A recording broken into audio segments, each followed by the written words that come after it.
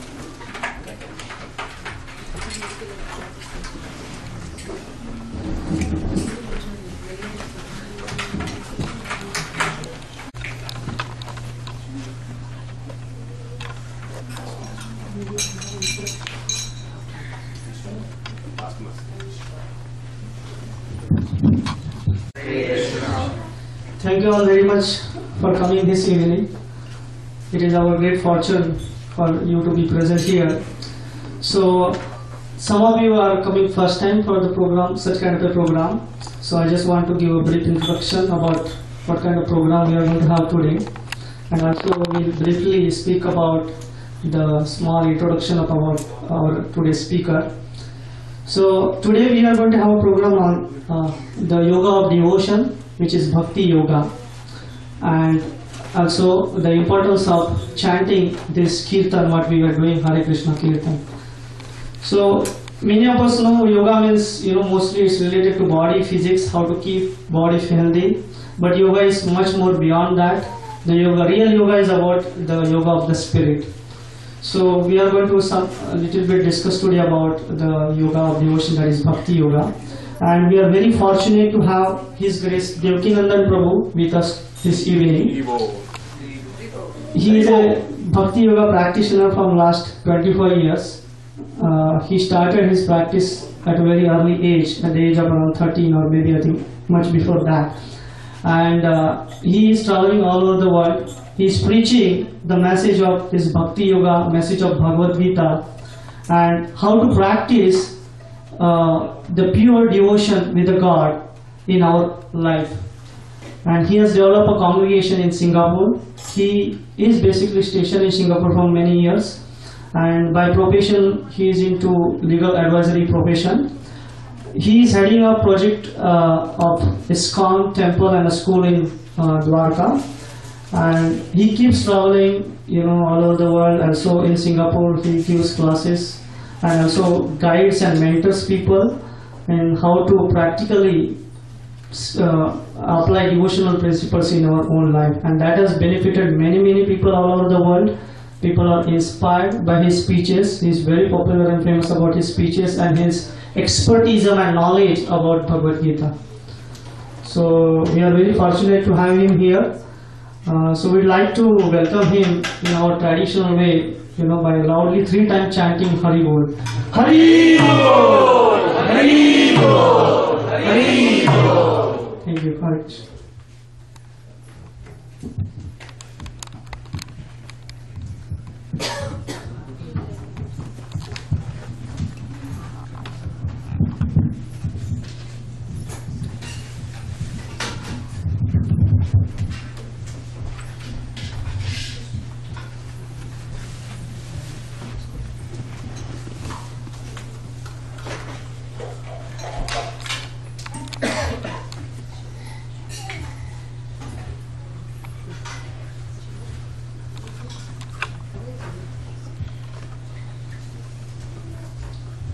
thank Nitya Seva Prabhu for having given us this opportunity to come together.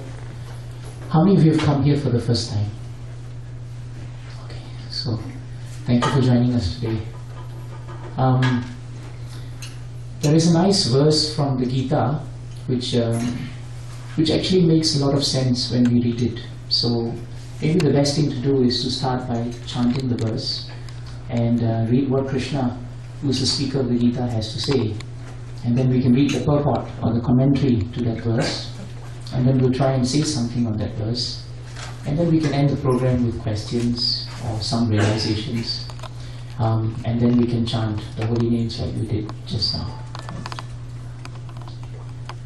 Let's let's go on with this. Chapter 2, text 66. नास्तिर्बुद्धिरयुक्तस्य। न च युक्तस्य भावना। न चाभावयता शान्ति। अशान्तस्य कुतः सुखम्। नास्ति बुद्धिरयुक्तस्य। चायुक्तस्य भावना। न चाभावयता शान्ति। अशान्तस्य कुतः सुखम्। नास्तिर्बुद्धिरयुक्तस्य। न चायुक्तस्य भावना। न चाभावयता शान्ति। अशान्तस्य कुतः सुखम्। Anyone like to chant? नास्ति बुद्धिर्युक्तस्य। नास्ति बुद्धिरयुक्तस्य। च युक्तस्य भावना। चायुक्तस्य भावना। न च न च भावयत शान्तिर्। न चाभावयत शान्तिः शान्तस्य कुतः सुखम्। अशान्तस्य कुतः सुखम्। Maybe one of the ladies?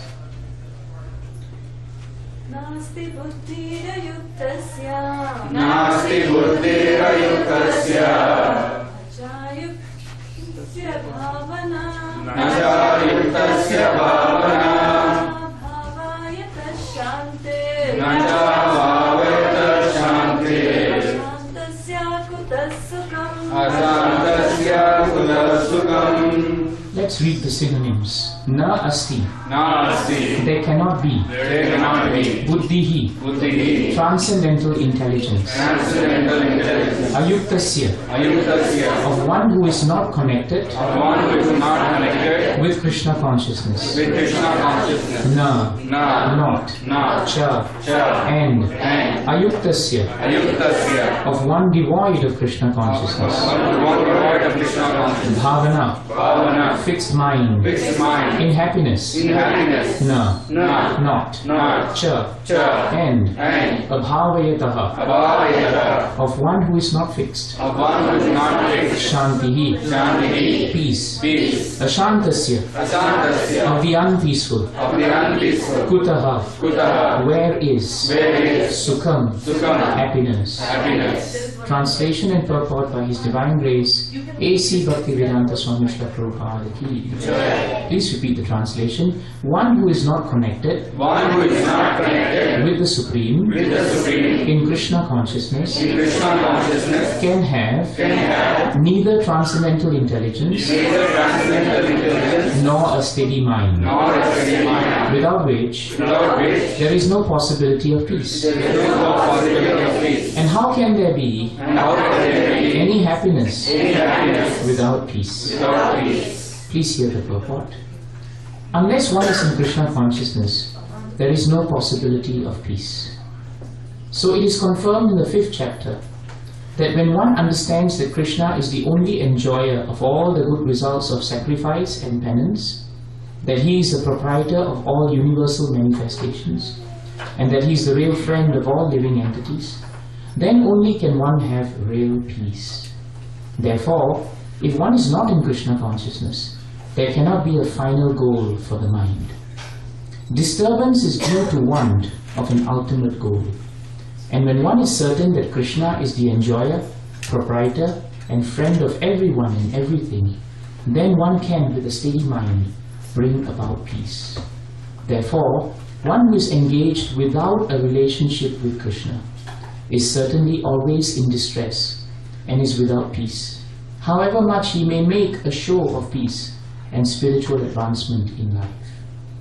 Therefore, one who is engaged without a relationship with Krishna is certainly always in distress and is without peace, however much he may make a show of peace and spiritual advancement in life. Krishna consciousness is a self-manifested, peaceful condition which can be achieved only in relationship with Krishna. Krishna consciousness is a self-manifested, peaceful condition which can be achieved only in relationship with Krishna. Just such a beautiful verse. ॐ अज्ञानतिमिरान्धस्य ज्ञानञ्जनाशलाकय चक्षुरुन्मिलितं येन तस्मै श्रीगुरवे नमः श्रीचैतन्याभीष्टं स्थापितं येन भूतले स्वयं रूपादामयं ददाति स्वापदान्तिकम्। वन्देऽहं श्रीगुरो श्रीयुतपथम् श्रीगुरुं वैष्णवांश्च श्रीरूपं साग्रजातं सर्वरघुनाथान्वितं तं सजीवम्। साद्वैतं सावधूतं परिजनसहितं कृष्णचैतन्यदेवम् श्रीराधाकृष्णपादान् सर्वविभाश्रीविशाखान्वितांश्च हे कृष्णा करुणासिन्धो दीनबन्धो जगत्पते गोपेश गोपिकान्ता राधाकान्ताः नमोऽस्ते पतकाञ्चन गौराङ्गे राधे वृन्दावंश्वरे वृषभानुसुते देवी प्रणमामि हरित्रे नमो महावदन्याय कृष्णप्रेमप्रदायते कृष्णाय कृष्णचैतन्या। नाम्नि गौरत्विषे नमः। वाञ्छाकल्पतरुभ्यश्च कृपा सिन्धुभ्य च। पतितानां पावनेभ्यो। वैष्णवेभ्यो नमो नमः। जय श्रीकृष्ण चैतन्य प्रभो नित्यानन्द। श्री अद्वैत गदाधर श्रीवासि भक्तवृन्द हरे कृष्णा हरे कृष्णा कृष्णा कृष्णा हरे हरे हरे राम हरे Ram Ram Ram Hare Hare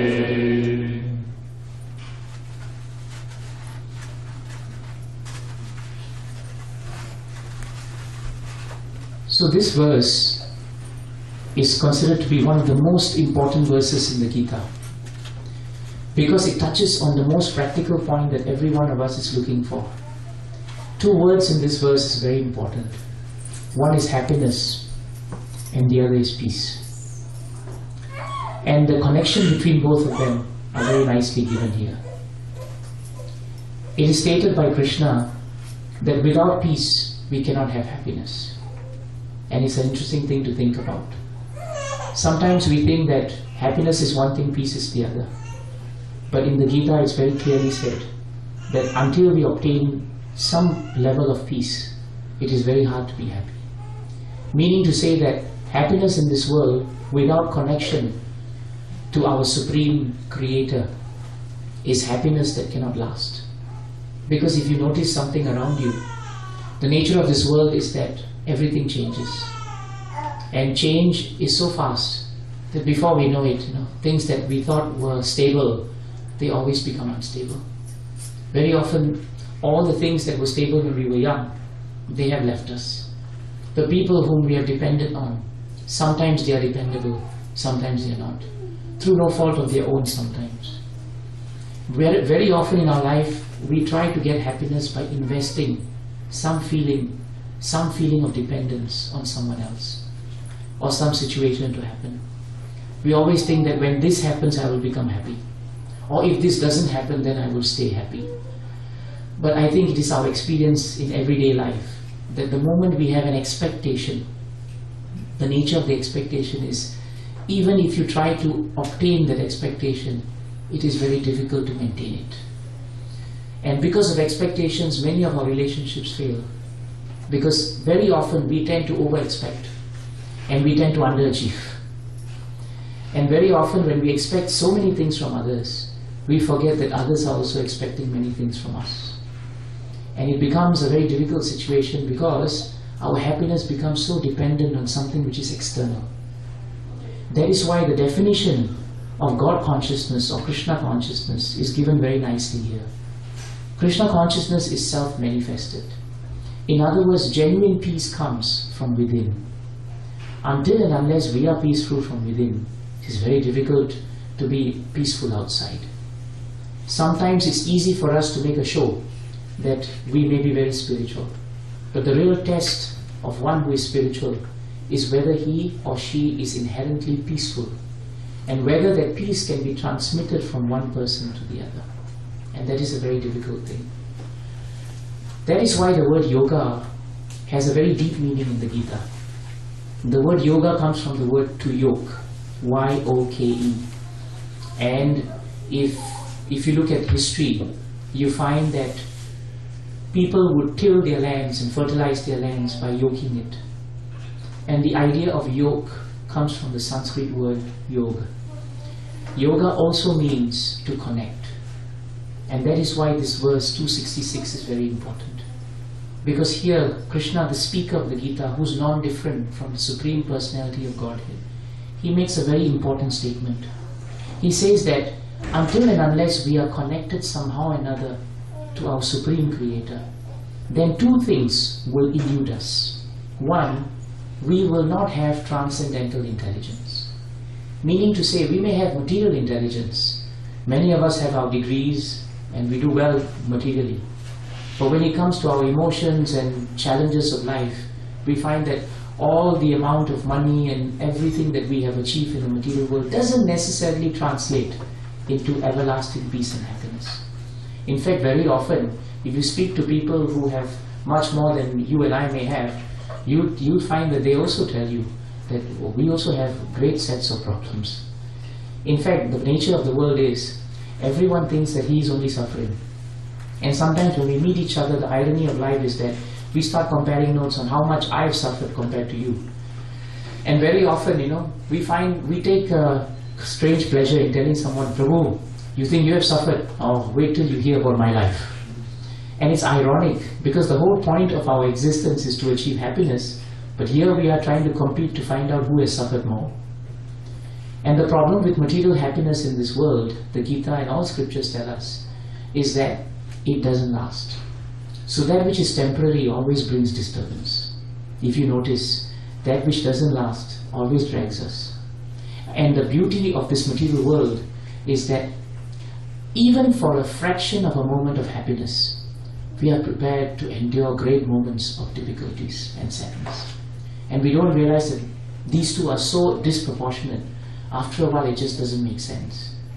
There's a nice story in our scriptures of a man who wanted to get honey from under a great oak tree. The honey was in the uh, was in a beehive, and of course, to get it, he had to cross over a, a fair amount of terrain, dangerous forest. And he was actually told uh, by he was actually told by many of the villagers who were living with him, "Don't go there; it's very dangerous." So the man decides, "No, I want to get that honey." So he crosses the wall and he enters into this deep dark forest. And when he enters into it, immediately, you know, he's chased by wild animals. So he runs away from them deeper into the forest. Then there are some ghosts and spirits which inhabit the forest, and they also chase him from one end. So he's being chased this side by wild animals and that side by spirits and goblins and ghosts. And he keeps running away from them. And just as he comes, he sees in the center of the forest is that great oak tree that he's looking for. And as he reaches that tree, he spies the hive and he sees the bees. But he also knows that he's being chased. So he has to solve that problem first. As he runs as fast as he can, he doesn't see a pit which is just beneath the tree. And he falls into the pit. And he thinks that he's going to break his head or his leg. But just before he hits the ground in the depth of the pit, his feet get stuck on the branches of the tree, the roots of the tree, which have you know actually come out onto the ground. It's a big old tree. So his feet are actually stuck and he's dangling upside down. Now when he looks deeper into the hole, he realizes that he's not alone. He sees two a pair of eyes, you know, which look very fierce, and he realizes there's a huge cobra at the bottom of the pit, and it is just waiting for him to drop. So then he realizes when he looks up that on this side of the pit the wild animals have stopped and they are waiting, and on this side all those ghostly entities they are also waiting. He's in a precarious situation. And because he has actually hit the roots of the tree, he has disturbed the beehive. Anyone been stung by bees before? Except for me, okay, fine. Good. You'll understand it's not a very pleasant experience. Huh? Yeah. Depending on where they sting you, it gets really bad. So anyway, he was being stung on his face by the bees also because the bees came down and they were disturbed. Despite the difficulty of the pain of the stings, despite the precarious condition of all these living entities waiting to catch him and the cobra at the bottom of the pit, and the fact that after a while he realized that even his feet were becoming dislodged from the roots because rats had come and started gnawing the roots. It was only a matter of time. If he drops into the pit, he'll be bitten by the cobra. If somehow he gets out of the pit, either side will get him. And if not, he'll be stung to death by the bees. But despite all that, the story goes that the man was still smiling. And we wonder why he's smiling. Because he realized while hanging upside down and having disturbed the hive, he found that if he stuck his tongue out perpendicular, he would actually be able to lick or at least taste a drop of honey that was just dropping from the hive at the top. And it was so wonderfully positioned that if he just stuck his tongue out, he could taste that honey. And every time he tasted that one drop of honey, the man thought, this is alright. it's not so bad, you know. I think I can go on for a little while longer. It's okay, it's okay. And Sastras, the scriptures, they tell us, this is our condition. This is the way we live in this world. Yam yam artam upadate, shukkena dukkena hetavi, tam tam dhunoti bhagavan, puman sochati antakrit. In the third canto, 31st chapter, second verse, this verse in Bhagavatam is very instructive. And this verse is a warning to everyone that while we try to collect so many material acquisitions in this life, thinking that they will become sources of our happiness forever, we don't realize that we acquire so much sadness and anxiety and difficulty just for a fraction of happiness. We work 30 days a year, a month at least, and then after we get our paycheck. And when we get our paycheck after all the hard work, we feel very relieved. But you and I know the relief is very temporary.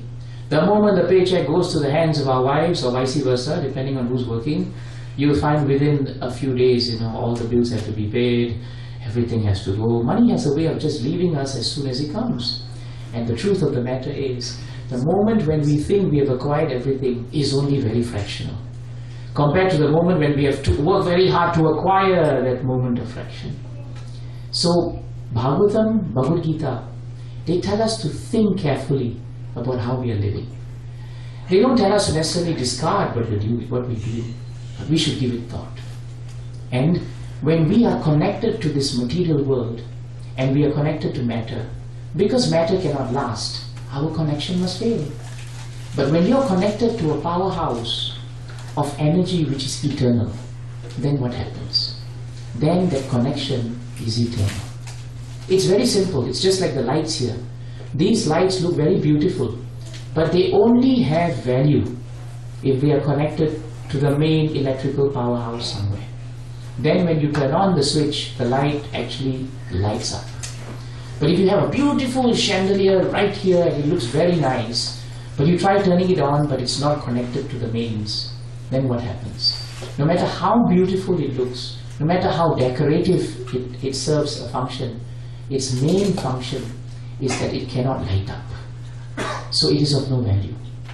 In the second canto, ninth chapter, I think it's the 34th verse, one of the seed verses of Bhagavatam, Krishna tells Brahma, Rite ritam yat pratiyeta, na pratiyeta chatmani, vidvan atmano mayam yatha basho yatha tamaha.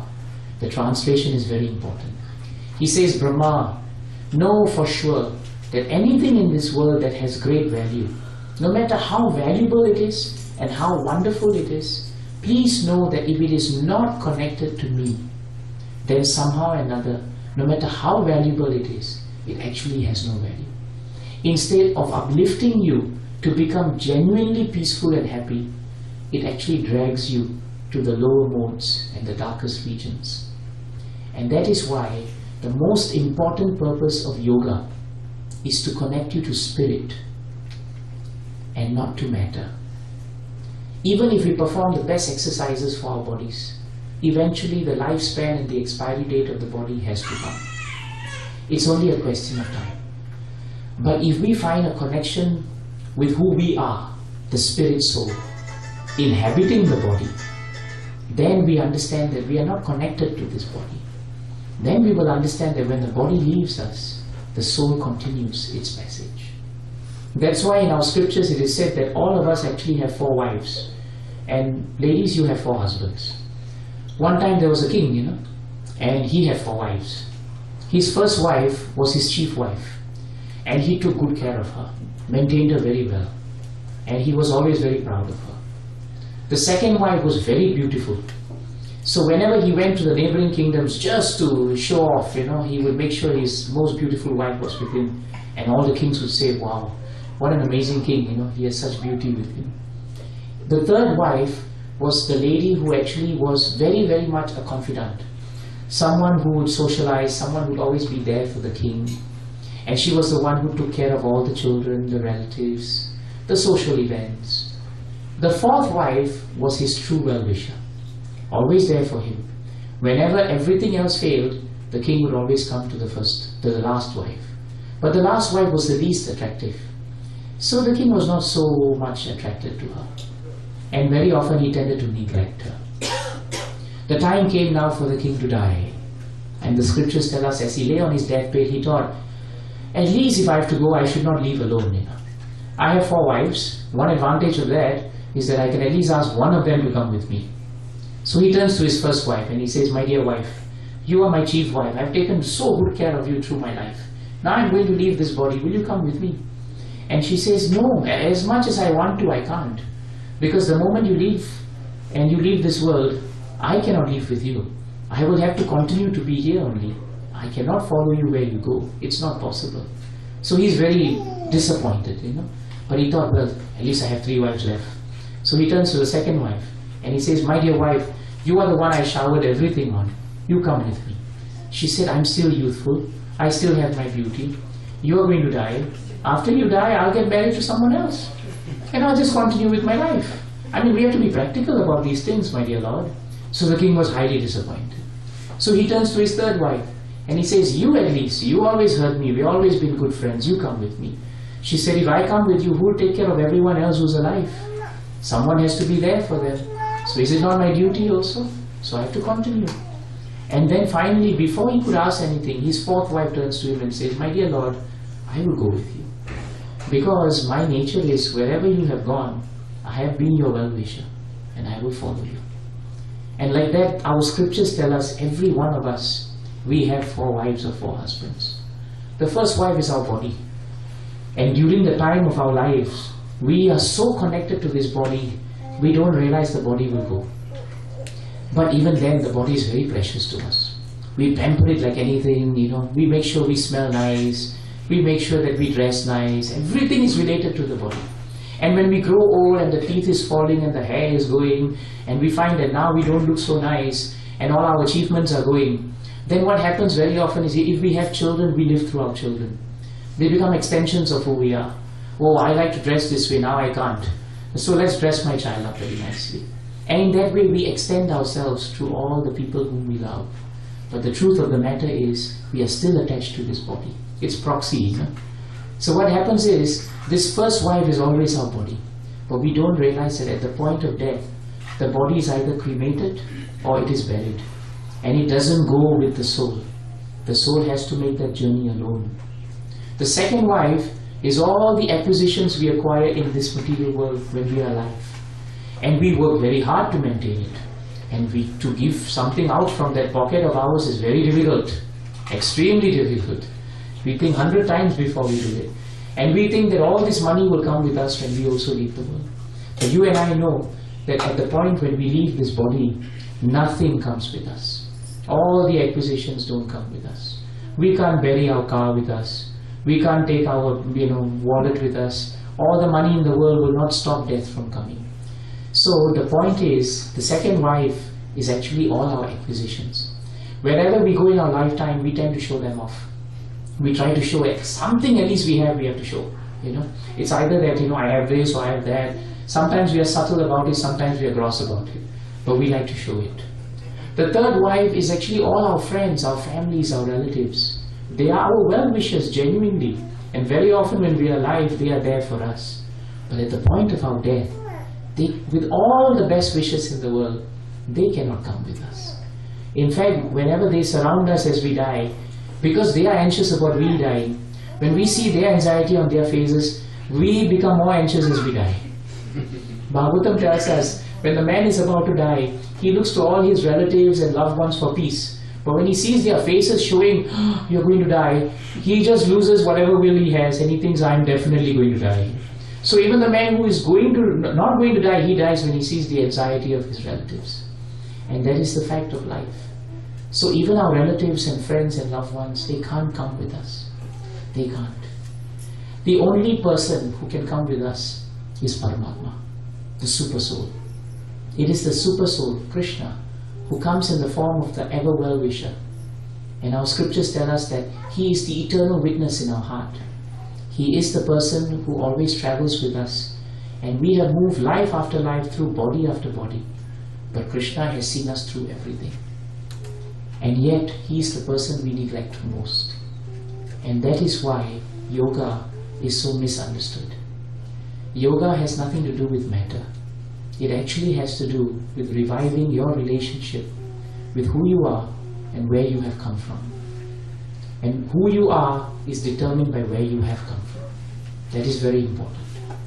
Everyone in this world is only searching for one thing, and the verse tells us what it is it is happiness.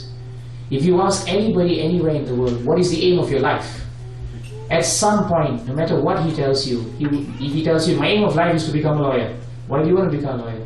Because I want to earn well. Why do you want to earn well? So that I can have this car. Why do you want to have this car? So that I can drive around. Why do you want to drive around? At the end of the day, he will have to come to this one point. Because it makes me happy. That's it. So it doesn't matter what we want in this life. But ultimately, we always want it for our happiness. In fact, Shastras tell us there are only two kinds of people who do not want to be happy in this world. One is the madman. The madman, he doesn't want to be happy. The second is a dead man, because a dead body cannot be happy. Other than these two personalities, everyone else wants to be happy.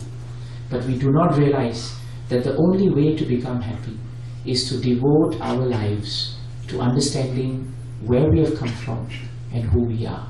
And this devotion is considered to be the highest form of connection. And that is why it is known as bhakti. Bhakti yoga is one of many yogas that we have heard. The Gita speaks about another yoga, the yoga of action, and that is known as karma yoga.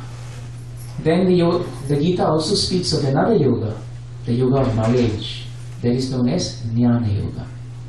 And then Krishna ends the entire Bhagavad Gita by conclusively stating that even if we want to take up the yoga where we have to act and we have to serve God by working for Him, or even if we want to amass knowledge and spiritual knowledge to understand who we are and where we come from, both of these connections to God, they have on as their common denominator only one element, and that is the element of bhakti, and that is devotion. Arjuna in the Bhagavad Gita is not a saintly personality sitting in a cave and meditating. He was a warrior, and his job description was you have to just go out there and fight the opposite camp. That's his job description. It's a simple job for him to do. On the eve of the battlefield, he calls Krishna the charioteer, and who is not different from God. And he says, My dear Krishna, pull me up to the middle so that I can see the battlefield and see who I'm going to fight with. And the moment he sees half the battlefield on the other side happen to be people who are related to him, he starts thinking, What am I doing? I'm wasting my time. These are people who are related to me. This cannot help anyone. Why should I fight? A feeling of weakness comes through him. And he thinks now, this is not my duty. I don't have to fight. He puts down his bow and his arrows and he tells Krishna, I do not want to fight. Now Krishna here does not tell him, very good. Now you retire into the cave and you become a big sadhu. No, Krishna tells him completely the opposite. Krishna tells him that whatever you are doing now is really miserly because you're being very selfish. You're not seeing the big picture. The big picture is it's not what you want to achieve that's important. It is whether what you want to achieve is in alignment with what the Supreme Personality of Godhead wishes for you. In other words, if we understand that we have to work, we have to be active, but our activity should be for the pleasure of Krishna and for the pleasure of his devotees, then our work is not the normal natural work that anyone else is working. Our attitude becomes automatically one of devotion. Therefore, our employer is no more someone who will also experience birth, death, old age, and disease. Our employer becomes the spiritual employer of all employers, and that's Krishna. So, Krishna told Arjuna, all you need to do now is have a change of consciousness. And the only best way to change your consciousness is be clear about who's your big boss. Be clear about who you are here to satisfy. You are not here to satisfy your mind. Neither are you here to satisfy your senses. Because your mind is temporary and your senses will die. But if you are here to satisfy me, meaning Krishna, and if you are here to listen to my instructions, then because I am eternal, my instructions are eternal, and if you connect to my instructions, the happiness that you get and the peace that follows from it will also be eternal. And if you think about it, that makes complete sense. Because why are we running for that, which will eventually run away from us? It doesn't make sense. So then, in the 8th chapter, 7th verse, Krishna says something that is so wonderful.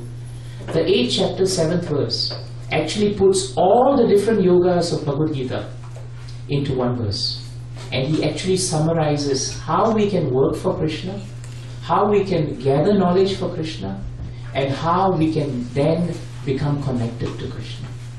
He says, Tasmat sarveshu kaleshu mam anusmara yudhyacha.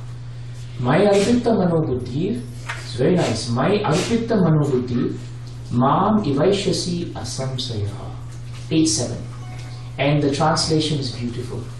If we can just meditate on this verse, if we forget everything else that we have spoken today and just remember this verse, we will understand the true meaning of yoga. What does Krishna say? Krishna says, Arjuna, you should always think of me. That's the first thing he says. Think of me. We think of so many things. We think of anything and everything except Krishna. Very often when we say, please chant the names of the Lord, we say, fine, we'll do it. But what will happen is we plan our day in such a way that we do everything, and at the end of the day, if I have a little time for Krishna, then I'll give it to him. If you really value someone, do you put him last in the queue or you put him first in the queue? It's very simple. Of course, our mind is so smart, we say that which is last is most precious. So, Krishna, I'm saving my last end of the day for you. But you and I know, given the way we live here, by the time we come to the end of the day, we always tell Krishna, Krishna, I'm so tired, I have to sleep now, and I don't have time to think of you. That which you love always comes first. So Krishna says, since you're always thinking of everything, you please think of me. That's what we should do. And sometimes people ask, what is the best way? How should we think of Krishna? It's very simple. You can best think of Krishna if you hear about Krishna. Have you realized that whenever you hear about someone, it's easier to think about them? After you've had an overseas call with someone whom you love or someone you've spoken to, you find that it's easier to remember the person. In other words, when you chant Krishna's names, it is very easy for you to remember him. So the first principle of yoga is to actually chant the names of the Lord. Hare Krishna, Hare Krishna, Krishna Krishna, Hare Hare, Hare Rama, Hare Rama, Rama Rama, Hare Hare. And that is how our thought becomes focused. You'll find that your mind has a habit of running everywhere except the place you want it to be. Isn't it true? That's how it is. Minds are just like children. Anything you tell children, they tend to do the opposite. And the mind is exactly that way also. Because the mind's nature is you cannot give it a chance. You have to discipline it. But you can't discipline it with matter because matter is material and mind is also material. You can only discipline it by chanting the transcendental vibrations of a mantra. If I and you were to chant Coca Cola, Coca Cola, Coca Cola, just after this we can do it for five minutes, you throw me out and I'll never come back again. Because if you try chanting Coca Cola for 15 minutes, two things will happen. One, your thirst will not be quenched because Coca Cola doesn't appear when you chant its name. And the other is at the end of it, you don't want to see Coca Cola ever again because you're tired of chanting it. And that is how it is with everything in the material world. It only has some value for a while. Then you feel I need a change. Look at the number of mobile phones we have changed since the day we were born. I don't know about how it is in the US, but in Singapore it's practically one in two months. That's how it is. Everybody loves changing their handphones. And the moment they have the brand new handphone that comes, it's so wonderful. But the moment they hear there's another one that comes, well, this one has lost its shine. Thankfully, we don't do that to our wives and husbands. That'll be very dangerous. In America, you kind of do that? Oh, okay. Okay, so that's a little bit like the iPhones in Singapore. All right. So thinking is very important, and that's why Krishna says you first of all start thinking of me. But to think of him, you must hear about him. Then you can think of him. So that's the first point. We hear about Krishna and we think of him. So Arjuna was told by Krishna, Krishna, no Arjuna, you think of me. And while you think of me, how should you think of me? That's very important. He says, You think of me in the form of Krishna. You see this beautiful picture that we have here of Krishna? It is not a very difficult photo to look at. Nothing unpleasant about seeing Krishna. In fact, Krishna, if you notice, is always smiling in every photo. Something that you and I can't do. We can only smile for a while in the photo. You take us off the photo, then our true nature comes. In fact, Krishna is so kind that no matter who comes before him in the temple, he is still smiling. Imagine if we took the position of Krishna for one day and we became deities. We can't last the whole day smiling. We can't. It's very difficult for us to smile the whole day. That's why Krishna is Krishna and we are we who we are. Because our form is material, but his form is transcendent. Just by seeing the form of Krishna, it's so easy to think about him. So if you chant Hare Krishna, Hare Krishna, Krishna Krishna, Hare Hare, Hare Ram, Hare Ram, Ram Ram, Hare Hare, and you chant by seeing his form, oh, then it becomes very easy to think about him. You see, now we have a triangle. We see Krishna, we hear Krishna, and therefore we can think about Krishna. And that's what he's telling Arjuna in the middle of the battlefield, mind you. So now he says, Arjuna, think of me always in the form of Krishna. And at the same time, now this is the tricky part, at the same time, carry out your prescribed duty of fighting. And you keep wondering, how's it going to be? You're fighting, fighting, and you have to see Krishna, how are you going to fight? How are you going to think of Krishna when you're fighting? Never mind if we are not fighting every day, hopefully we are not. But if we are working, how are we going to work and think of Krishna? That's a difficult thing, isn't it? But the Shastras give us a very simple example. Supposing you love someone very much. I can give the example of when, you know, when we have children, for example. And the children, you know, they are so wonderful. Before you leave the house, you see them and you become very enamored by them. And whole day when you go to, to your work, you keep thinking about them even while you work. When you get a bad assignment or a bad boss or a bad day, you tell yourself, you know, I'm actually doing this for my family. The love of my family keeps me going. We've all gone through that before. It happens. If you've just become newly married and you are still, you know, fresh out of the mint and you love your wife very much and she loves you very much, the first day or one week after the honeymoon when you both are separated and you go to your respective workplaces, I guarantee you for the whole day, while you're doing your work very expertly, your mind is always on the loving dealings with your wife and husband. Don't ask the people who have been married for 10 years, they give you different ideas. But you ask those who are in the honeymoon period, they'll tell you, oh, I can identify with this. But my point is, when there is an object of love and you are connected to it, then even while you perform other activities, you know that the motive for performing them is ultimately so that you can actually benefit or serve whom, those whom you love. It gives meaning. All Krishna is saying is, Arjuna, you have to fight because I want you to fight. You need to do this for a higher cause. But you need to do this while remembering me. If you remember why you are doing this, that translates automatically into remembering the person for whom you're doing it. It does. Another very interesting example Sastras give is that of a wife who's very chaste at home with her husband, but who actually has an affair with a lover outside. So what must she do at home? She has to make sure that the husband doesn't suspect her affair. So if you are messy with your things and you are distracted and you're disheveled and you are looking very, very, you know, uh, like you're thinking of something else, then you become a source of suspicion. But if an expert wife does all her household duties very nicely, such that no one suspects, but all the time she's thinking of a paramour, of her lover, then what happens is she's able to capture that thought in her heart, she's able to do all her duties very nicely. So this is a glimpse of how devotees live in this world. We are not expected to be at the level of Arjuna where 24 hours we can remember Krishna. But what Krishna is looking for is our sincere attempt to remember Him. In Bhagavatam, there is an amazing statement in the 8th canto, I think it's the second or first chapter, and it's in the purport of the 14th or 15th verse. I'll find it later if you want. In the last line, Prabhupada writes an amazing statement. I never found it anywhere else in Bhagavatam. He gives us the clue to this verse how to remember Krishna always. He says, if we begin our activities for His satisfaction, then gradually we will lose taste for material activities. It's an amazing statement. We are all chanting and we are all practicing devotional service, and very often we ask ourselves, when will the day come when I automatically and naturally have a higher taste? But He gives us the clue. All we have to do is to start every activity by being clear about who we are doing it for. Be clear about that. Have that clarity. If you begin your activity by remembering that you're doing this to glorify Krishna and not to glorify ourselves, then Krishna gives you the power of remembrance to remember Him throughout that activity. One time Narada came to Krishna in Dwarka and he said, Krishna, who is your most favorite devotee, especially on earth?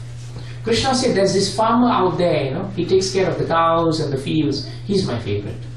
Narada said, Why? Narada was expecting he would be the favorite. Very disappointed. So he said, Why? What does he do? He said, He's always thinking of me. Narada said, Krishna, I'm always thinking of you. So where's the difference? And Krishna said, No, but you have no other engagements. You, you're full time. so you're remembering me always. But he has to work. So Narada said, I'm curious. Let me find out how he's working and remembering you. So Narada, so Krishna said, Let's go to earth in disguise and we'll visit the farmer. So they go and see the farmer.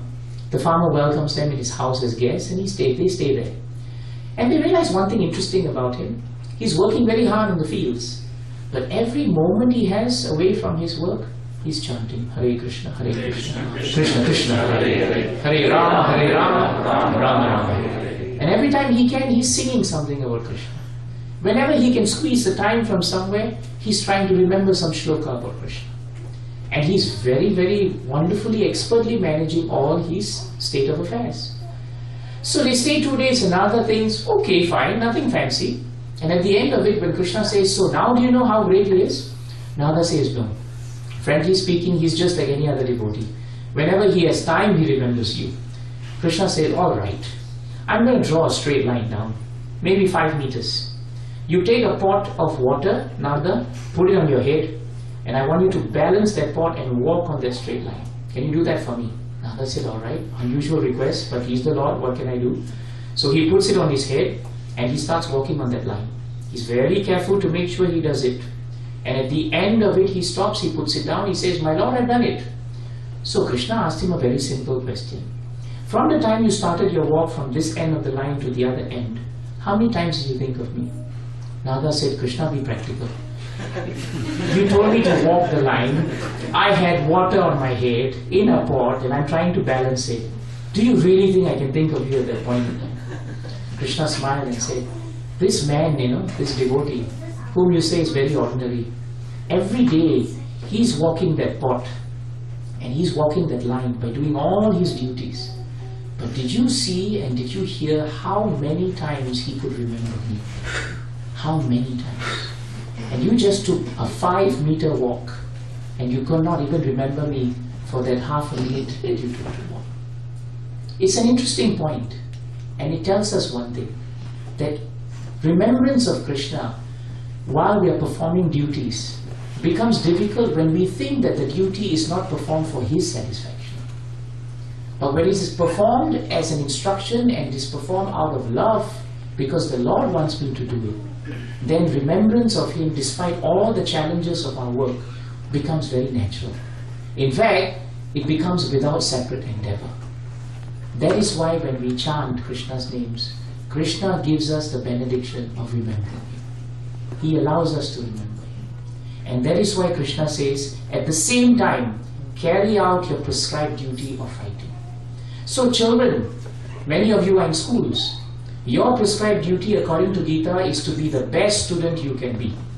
If you turn to your parents and say, I want to become sadhu now, because Krishna says you have to give up everything, then unfortunately we have not understood the Gita. If husbands and wives after the, this program say, I have to give up everything and connect to Krishna, then we have lost the point also. Stane stitaha, that is the two words used by Brahmaji in the verse in Bhagavatam.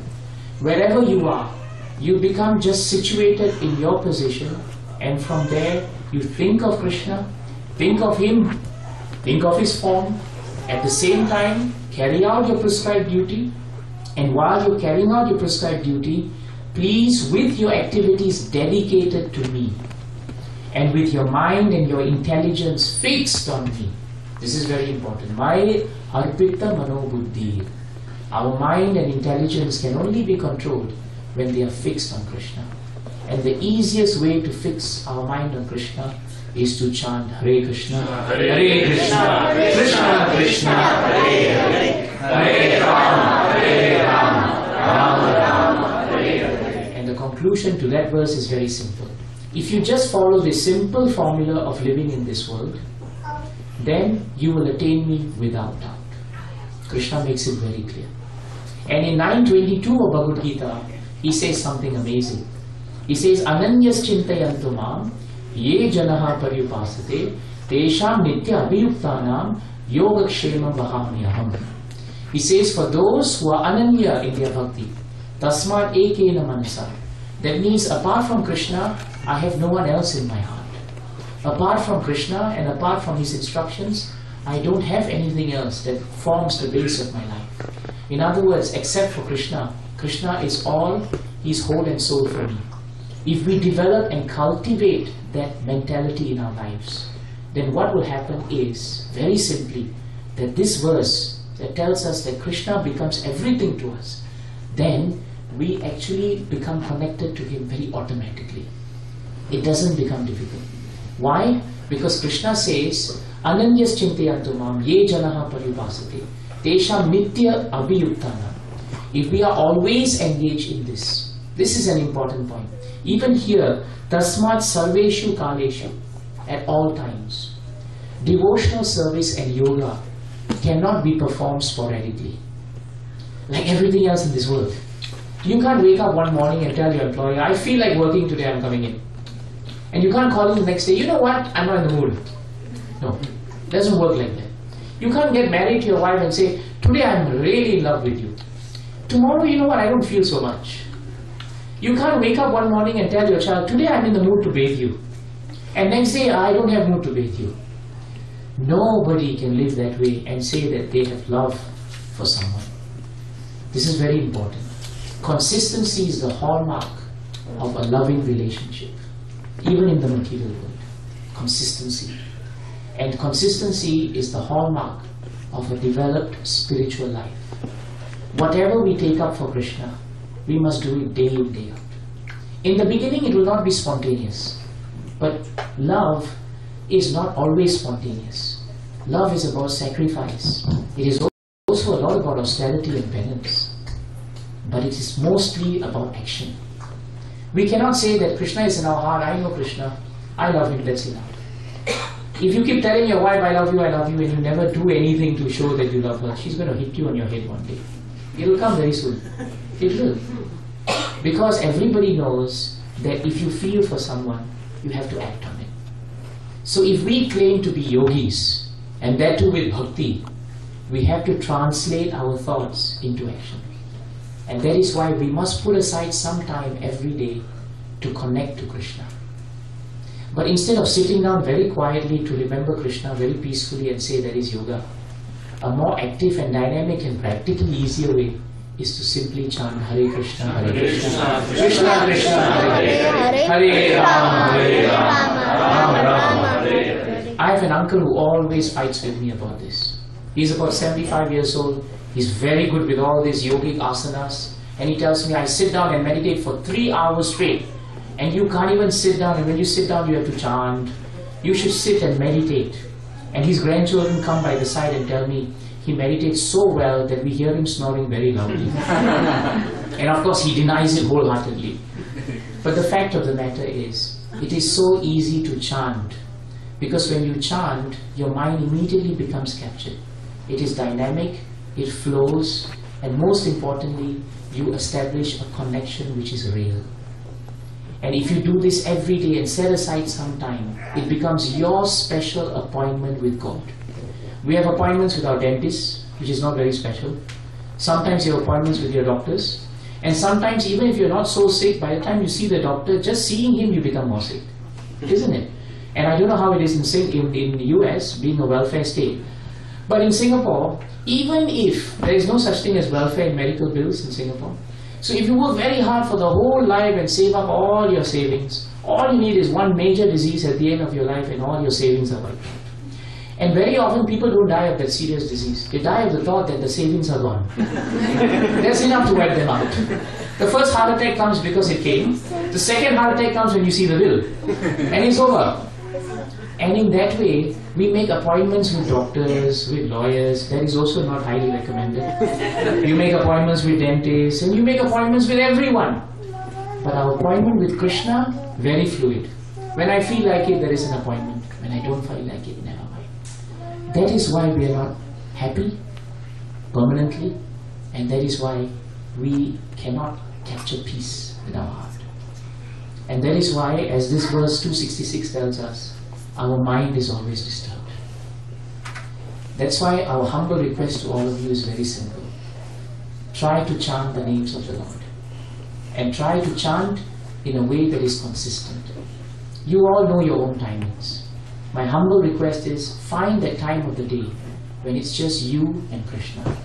Sit down and chant Hare Krishna, Hare Krishna, Krishna Krishna, Hare Hare, Hare Rama, Hare Rama, Rama Rama, Hare Hare. But then the next question is, what will happen then? Because if you want to know someone, you also have to have some knowledge of him. So chanting is very good. But if you chant and you get to know about who you're chanting and what is his name and where he comes from, who is this Krishna, then you cement your relationship with him. And that is why by reading Bhagavad Gita or by reading any of the scriptures of the world, one forms a strong, deep understanding and faith and connection with the Supreme Lord. And that's why we request devotees chant Hare Krishna, Hare Krishna, Krishna Krishna, Hare Hare, Hare Rama, Hare Rama, Rama Rama, Hare Hare. And daily you just take one verse from the Bhagavad Gita, sit down and read it, end to end. Hardly it will take you 10 minutes. And nobody dies putting aside 10 minutes for the good Lord.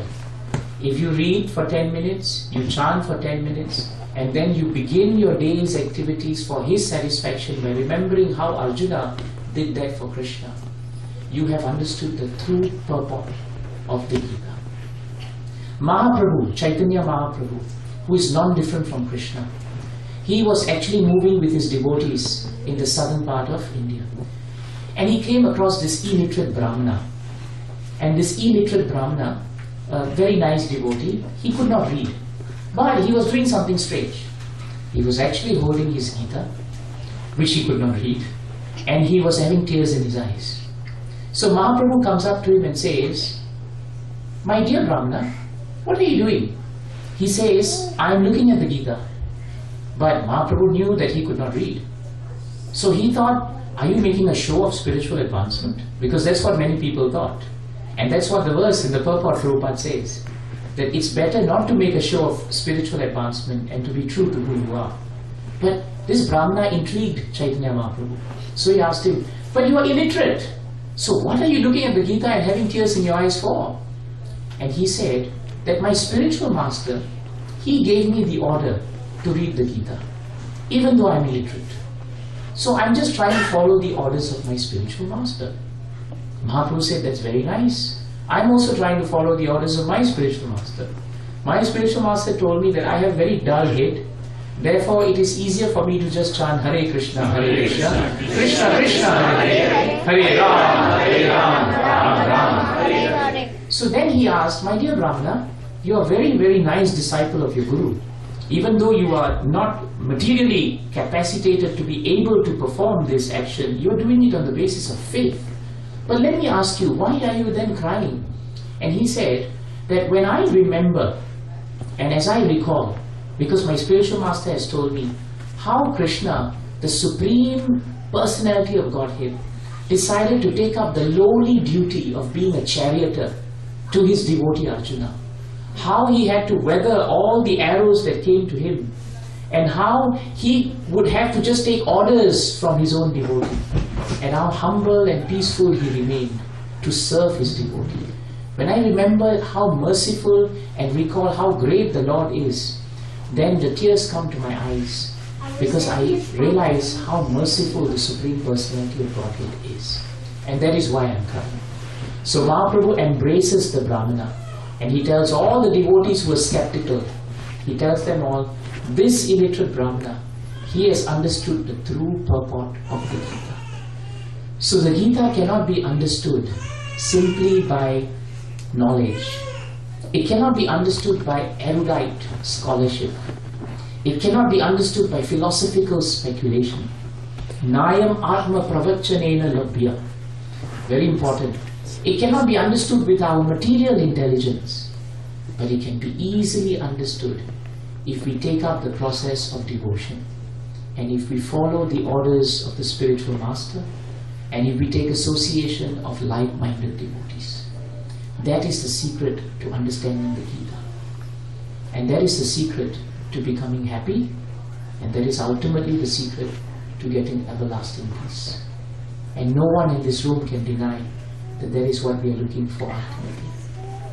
Jai Srimad Bhagavad Gita ki Jai. Jai Srila Prabhupada ki Jai. Jai Srila Gurudev ki Anantakoti Vaishnavrinda ki and Thy Gaura Premanand.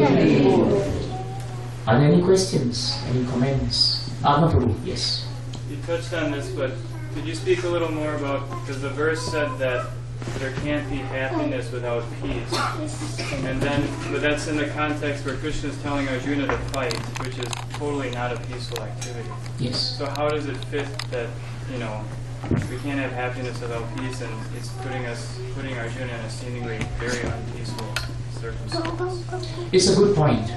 The peace that Bhagavad Gita speaks about is actually obtained when we follow the instructions of the Supreme. The instructions of the Supreme may appear to be difficult to fulfill. For example, Arjuna found it difficult to fulfill the value of him being a warrior.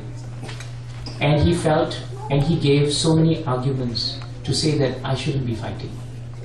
But Krishna knew that if the Kauravas were to win the war, then this entire world would be plunged into e-religion. And e-religion was not what Krishna wanted. He wanted the Pandavas to bring dharma, spirituality, good behavior and character into the world. And for that it was necessary to end the reigns and the behavior of the Kauravas. Sometimes we also have tendencies in our hearts which are not very good. But if we say that we don't want to stop them or eradicate them because they are part of us, then actually we become consumed by them.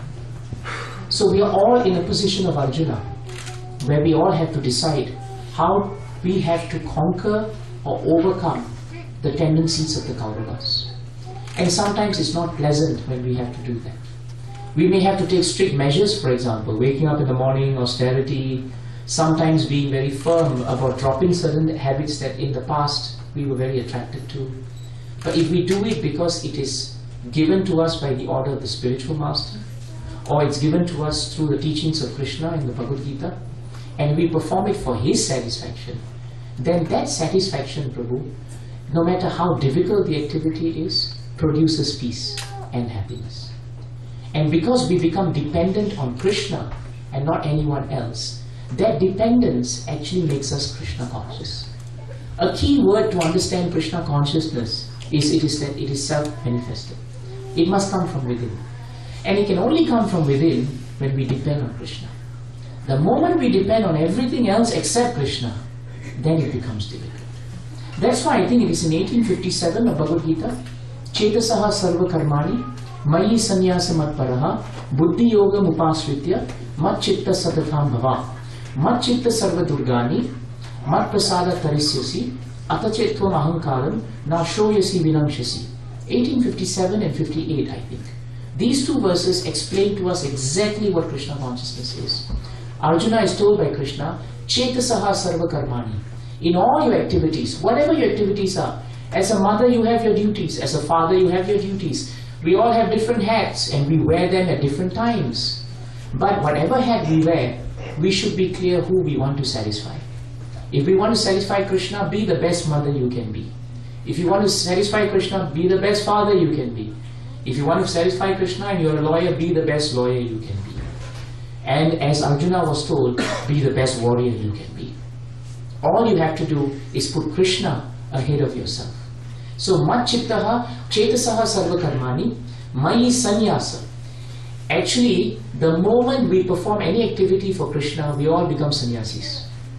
That is the real definition of sannyas. The moment we are not attached to the result of what comes and we give it to Krishna, that is immediately sannyas. Whether you are in karma yoga, jnana yoga, or bhakti yoga, that is immediately sannyas. And therefore he says, give up that tendency. And instead, what does he say? Machitta satatam, uh, chetasa sarvakarmani, mayi sannyasa, uh, mayi sannyasa, uh, buddhi yoga upasritya. In other words, use your intelligence. And using your intelligence, then what do you do? Make sure that you are conscious of my activities. Machitta satatam bhava, all the time. So consciousness comes by being dependent on Krishna. If you read the translation, Mataji, you have the translation? What does it say? In all activities, just In all activities, just depend upon me. just depend upon me. That's the key. The more we depend on Krishna, the more peaceful we become. But if we depend on others or we depend on matter, we don't become peaceful. Simple example I'll give you. There was a wife who was always taking care of her husband. And he had an old mother who had long gone, uh, stayed with him, no more staying with him. One day the wife cooks him a good meal, puts it in front of him and says, I have a question, my dear. Husband says, What is it? Wife says, Give you a scenario. We are in the ocean. I am drowning. You're a good swimmer. I can't swim. Your mother is also in the ocean. She also can't swim. And she's just next to me. You only have one chance to save one person. Who are you going to save? This is the question that all husbands don't want to hear. we pray the day never comes. But it has come now for this man. So he's having his prasad and he's very cool. He has no questions about it. He says it's very simple. I'll save my mother. So now wife is upset. I've cooked 20 years for you, served you very well. That old elderly lady never comes to see you. But when it comes to saving, you're going to save her. Why? And he gives an even more simple answer. He says, in our lifetime, we only get one mother. He stops there. but you know the implication. Now she becomes more upset. This is too much. So she goes to be very upset. Next day she goes to work, you know, and she has a good friend. So she tells the good friend, you see this nonsense man, I took so good care of him, 20, 30 years of serving him, and that mother of his never comes to see him. But when it comes to saving, mother gets saved and I get drowned. What do you think I should have done in such a situation? And, his and her friend gives a very good advice. It's very simple. You should just learn how to swim. because if you learn how to swim, you don't have to worry about who's going to save you. You don't have to depend on someone to save you. And this is Krishna consciousness. If we depend on Krishna, then we don't become unnecessarily disturbed. Because whenever we depend on matter, matter disappoints. But when we depend on Krishna, Krishna elevates. This is an important principle. And that's why Krishna tells Arjuna you please depend on me. And if you depend on me, next verse, Mataji, very nice. That whatever obstacles there are in front of you, mat prasada tarisyasi, by my grace, right? Mataji, can you read it to us? No, I mean the translation. If you become conscious conscious of me, you will pass over all the obstacles of conditioned life by my grace. That's it. Just stop there. That means if we become conscious of Krishna, if we do Krishna consciousness, if we perform Bhakti Yoga, then whatever obstacles come before us, Krishna gives us the strength to face these obstacles. We don't say they go, but He will allow us to actually cross over them. However, He gives a warning in the last line. Mataji, can you read it? If, however, you do not work in such consciousness, Ah, if however you don't work in such consciousness of depending on Krishna, then what happens? but act through false ego, not hearing me, you will be lost. That's it. That's the other problem with us. Very often we depend more on our false ego. And we give all the favorable arguments why we are right. The mind will tell us why to chant. Today the program is going to finish very late. And by the time I go home, it will be very late. Tomorrow morning is a new day. I don't have time to wake up early in the morning. The next day I'll be alright. If I wake up too early, my health will go. Then the next day I can't chant. And like that, so many arguments are there. But they are all coming from false ego. And we don't want to hear Krishna, we don't want to hear our spiritual masters. So the reason that when that happens, we become lost. And how do we know we are lost? Very simple. My spiritual master said it's very easy to know you're lost. One, you are always angry, and two, you're always agitated. And if you're not angry, then the cousin of anger is there. That's the third A. You're always anxious. So either there is agitation, anger, or anxiety. And in some way or another, they will catch you at different points of your life. So I hope that helps, All right. Should we chant Krishna's names then? That will be the best thing, isn't it? Hmm? Are we going to chant very loudly? Children, children are the best chanters of names. Do you agree? Yeah. Yes, because they chant really loudly and they love it, you know. They get tired of hearing people speaking too long, correct? Yes. So now they prefer to chant. So let's chant Krishna's names for about 10 minutes and then we invite everyone for prasad. Prabhu. You do 11 minutes. All the kids go forward, sit there. Ah, good, come, come, come. Come. Kids, kids will sit down, sit down. Come. So what, what are we chanting today? We're chanting the mantra. Do you all know the mantra? Hare Krishna. Hare Krishna. Krishna Krishna. Hare Hare. Hare Rama. Hare Rama. Rama Rama. Hare Hare. Very easy, right? Now bit louder. Hare Krishna. Hare Krishna. Krishna Krishna. Krishna Krishna Krishna Krishna Hare Hare. Hare Rama. Hare Rama Rama Rama Hare Hare. Now when we chant, who should we be thinking of? Krishna. Yes, so we can see this beautiful picture of Krishna, right? So when we chant, we remember Krishna. Do we remember anyone else? No. no. Do we want to remember anyone else? No. Very good. No, I chanted loudly. That's why you're part of the team.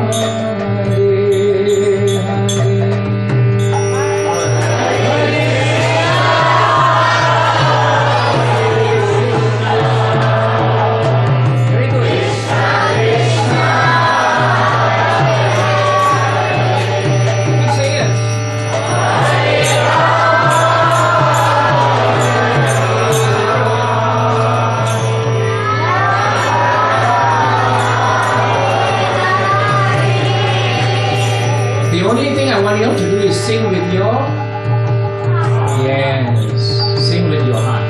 In case you're not sure where it is, you keep your hand to it. Then you'll know where it is. Ready? Hare Krishna, Hare Krishna, Krishna Krishna.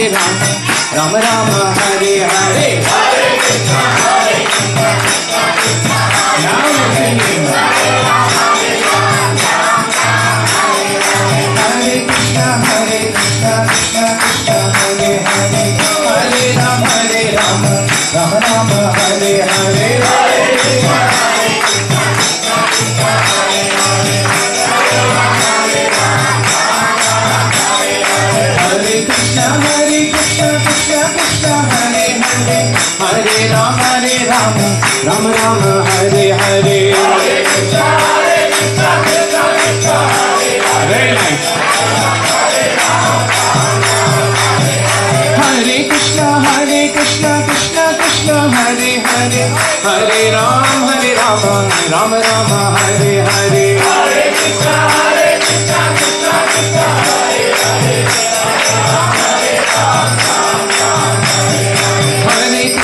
Hare Krishna Krishna Krishna Hare Hare. Hare Ram Hare Ram Ram Ram Hare Hare. Hare Hare Hare Hare Hare Ram Hare Ram.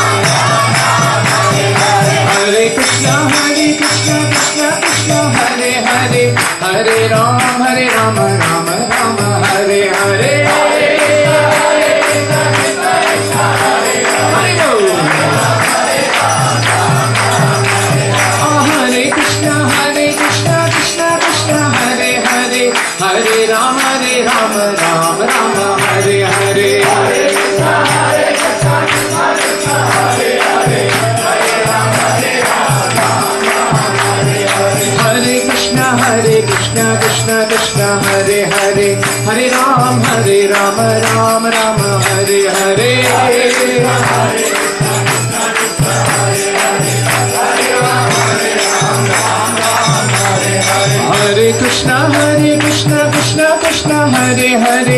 Hare Ram Hare Ram Ram Ram Hare Hare.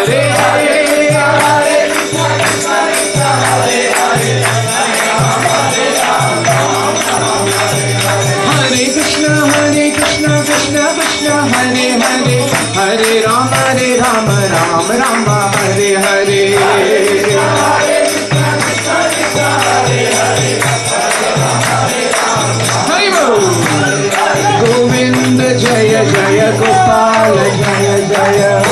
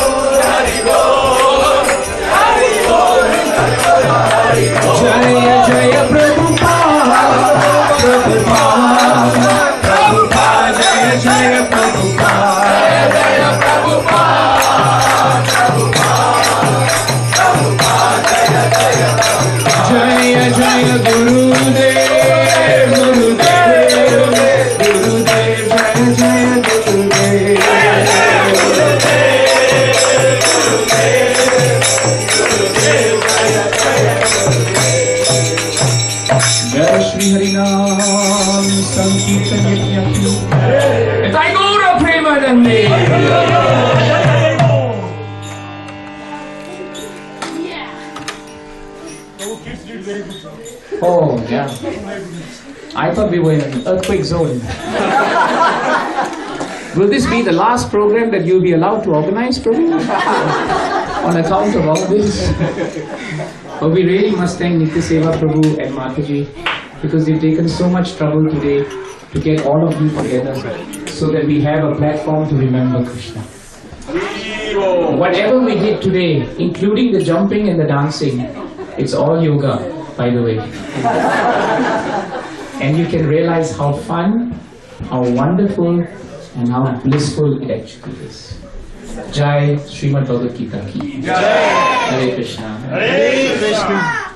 Grace Devakinandan Prabhu ki. Srila Prabhupada, Srila Gurudev. I love the kids.